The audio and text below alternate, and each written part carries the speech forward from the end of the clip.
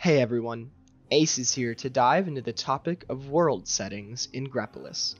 Today, I'm going to be talking about the different world settings that you may encounter during your time in Grepolis and how they affect your gameplay. Before we begin, please make sure to subscribe to this channel and look out for more of our content as we go through the basics of Grepolis.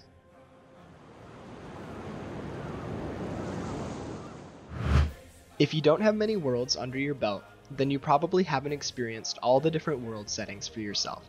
These settings will determine the speed of the world as well as how you try to achieve victory.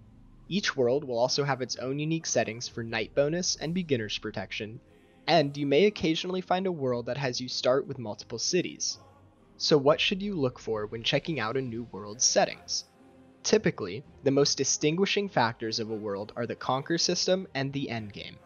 Currently, there are two conquer systems, Revolt and Conquest, whereas the endgame of a world is how one alliance will achieve victory.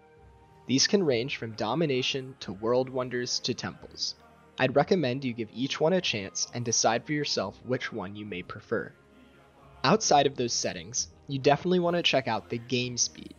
These speed settings will determine how fast buildings are upgraded, units are created, as well as how fast units travel and trade happens. Speed 1 through 4 are going to be your normal Grepolis settings, getting faster as the number goes higher. These speed settings will go up all the way to 6, which is what would be referred to as a fast world.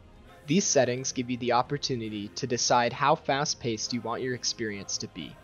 Typically, a faster world will require you to be a bit more active with your approach, and the lower numbers, such as a speed 1 world, will allow you to be more casual. Lastly, I would recommend checking the night bonus option on a world settings. Night bonus will give a defensive buff during a certain period of time, attempting to allow the user to get some rest without the worry of getting conquered in the night.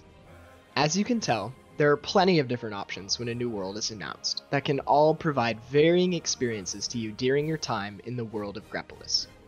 I'm sure as you play you will begin to develop your favorites and anticipate the next world release. If you want to stay updated on future worlds and their release dates, make sure to check out the Grepolis forums online. Good luck out there and have fun spending your time in Grepolis.